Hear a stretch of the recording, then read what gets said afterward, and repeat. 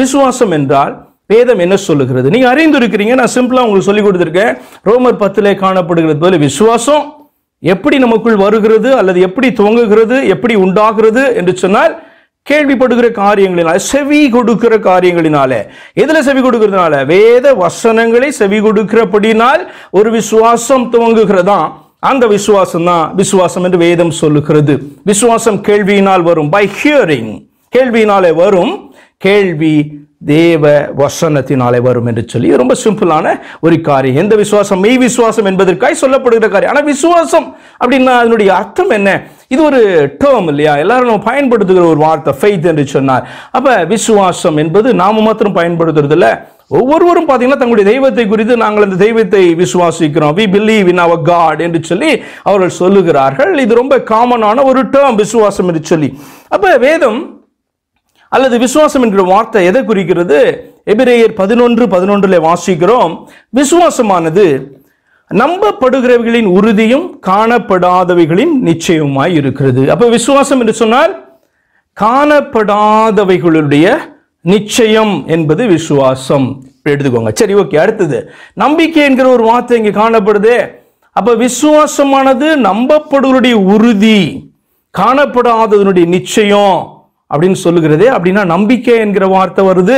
இப்போ நம்பிக்கைனா என்ன அர்த்தம்? அந்த விசுவாசத்துக்கும் நம்பிக்கைக்கும் என்ன சம்பந்தம் என்று சொல்லி நம்ம பார்க்க வேண்டும். நம்பிக்கை என்றால் என்ன? வாட் இஸ் ஹோப் ரோமர் எட்டாம் அதிகாரம் இருபத்தி நான்காவது வசனம் சொல்லுகிறது அந்த நம்பிக்கையினாலே நாம் ரட்சிக்கப்பட்டிருக்கோம். சரி நல்லது. சரியான நம்பிக்கை ஆண்டவர் மேலே வைக்கிறபடினால் ரட்சிக்கப்பட்டிருக்கோம். அப்போ நம்பிக்கைனா என்ன?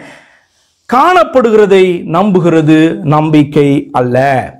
ஒருவன் தான் காண்கிறதை நம்ப வேண்டியது என்ன ஒன்றை என்னுடைய கண்களிலே காண்பித்து இங்க பார் தேவன் இவர் தான் அப்படின்னு ஒருத்தர் காமிக்கிறபடினால அல்லது நான் அறியாத ஒன்றை எனக்கு காண்பித்து இதுதான் என்று சொல்லும் பொழுது அதை நான் நம்புகிறதோ அது வந்து பார்த்தீங்கன்னா நம்பிக்கை அல்ல. நம்பிக்கை என்று சொன்னால் காணப்படாததை. வேதம் எதை நம்பிக்கைன்னு சொல்லுது? காணப்படாததை நம்புகிறதை வேதம் நம்பிக்கை என்று சொல்லுகிறது. சரி. நம்பிக்கை எப்படி உண்டானது? கொலேசியர் ஒன்று இருபத்தி ரெண்டுல நம்ம வாசிக்கிறோம். நீங்கள் கேட்ட சுவிசேஷத்தினால் உண்டாகும் நம்பிக்கையை விட்டு.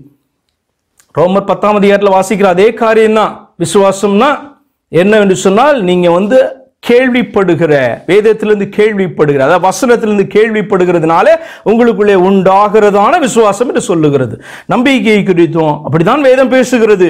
நீங்கள் கேட்ட சுவிசேஷத்தினால் உங்களுக்கு அறிவிக்கப்பட்ட அந்த சத்தியத்தை சத்தியம் என்று நீங்கள் ஏற்றுக்கொள்ளுகிறபடினால் உங்களுக்குள்ளே ஒரு நம்பிக்கை உண்டாகிறது அல்லவா அந்த நம்பிக்கையை விட்டு அசையாமல் ஸ்திரமாயும் உறுதியாயும் விசுவாசத்திலே நிலைத்திருப்பீர்களானால் அப்படியாகும். அப்ப இந்த வார்த்தையும் எபிரேயர் பதினொன்று ஒன்றுக்கு ஒத்ததான ஒரு வார்த்தையா இருக்கு. என்ன சொல்லுகிறது? நீங்கள் கேட்ட சுவிசேஷத்தினாலே உங்களுக்குள்ள உண்டானதான நீங்க பார்க்கல. நீ காணாத ஒரு காரியத்தை குறித்து சுவிசேஷம் அறிவிக்கிறது.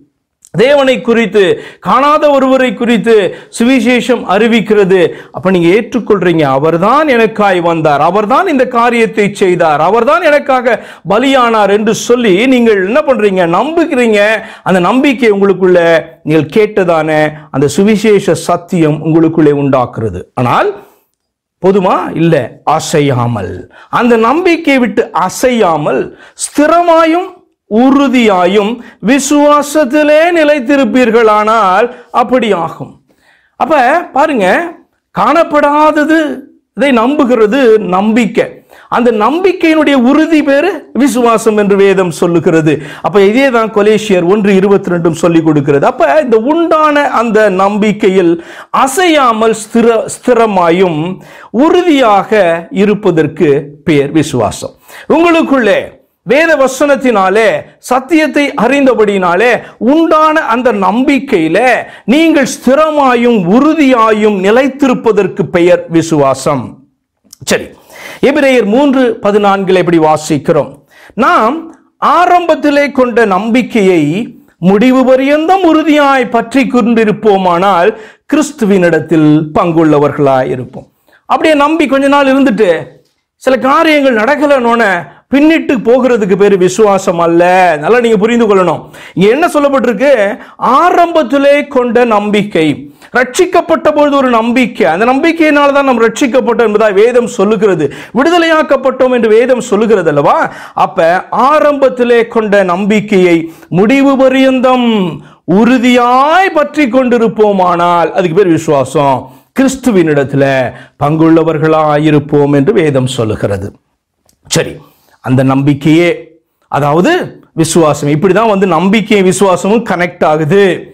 அப்போ அந்த நம்பிக்கையே அதாவது அந்த விசுவாசமே இன்று நம்மை தேவனுடைய சமூகத்திற்கு தைரியமாக வருவதற்கும் மறுமையில் அவருடைய சமூகத்துக்கு நம்மளை கொண்டு செல்வதற்கும் இன்றைக்கு நம்ம கத்தருடைய சமூகத்துக்கு தைரியமாக வரணும்னா இந்த நம்பிக்கை இந்த விசுவாசம் தான் நம்மளை தைரியமாக அவருடைய சமூகத்துக்கு கொண்டு வருகிறது தைரியமாய் ஜெபிக்க செய்கிறது. அவர் எனக்கு இதை செய்வார் என்று நம்ப செய்கிறது. அதே தான் பார்த்தீங்க அப்படின்னு சொன்னால் மறுமையில் நாம் அவருடைய சமூகத்துக்கு கொண்டு செல்கிறதும் இன்னைக்கு அவர் மேல நாம் வைத்திருக்கிறதான இந்த நம்பிக்கையும் இந்த விசுவாசமும் என்று வேதம் சொல்லுகிறது.